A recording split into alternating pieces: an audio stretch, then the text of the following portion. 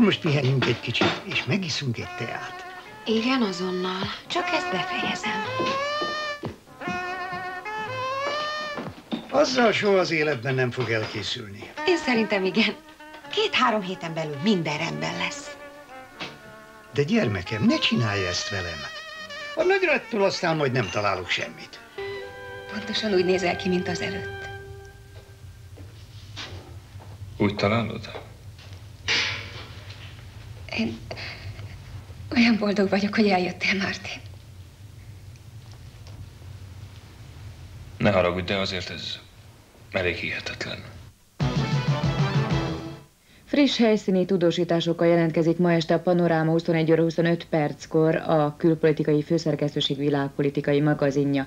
Kik és miért akarják megtorpedózni a zsidó-palesztin megbékélést és a közel-keleti rendezést Izraelben? Kimozdulnak-e a holdpontról az izraeli arab tárgyalások? Erről szól a Panoráma szentföldi riportja.